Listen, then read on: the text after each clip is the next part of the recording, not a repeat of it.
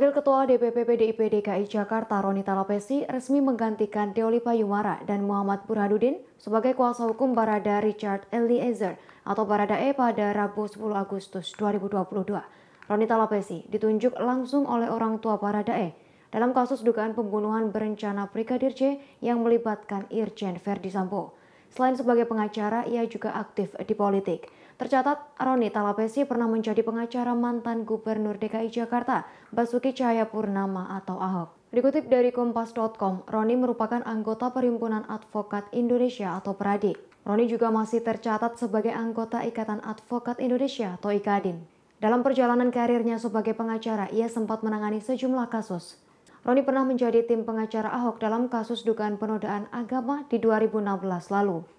Roni pun menjadi kuasa hukum keluarga korban kecelakaan maut di Tugutani, Jakarta Pusat. Dalam kecelakaan itu menewaskan 9 orang pada 2012 silam. Kini Roni resmi menjadi kuasa hukum Baradae dan keluarga. Roni siap membela hak-hak konstitusi Baradae serta keluarganya. Roni pun mengaku telah menyiapkan sejumlah langkah untuk membela Baradae. Roni bakal menyiapkan saksi yang bisa meringankan hukuman Baradae.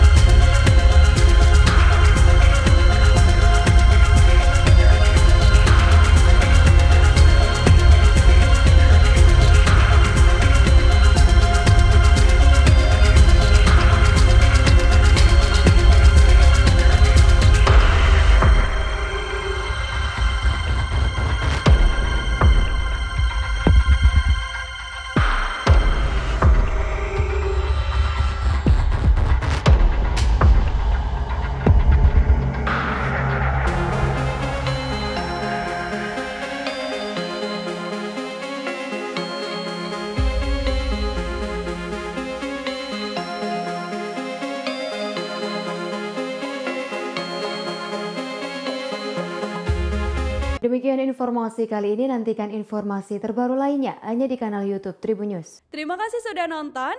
Jangan lupa like, subscribe, dan share ya.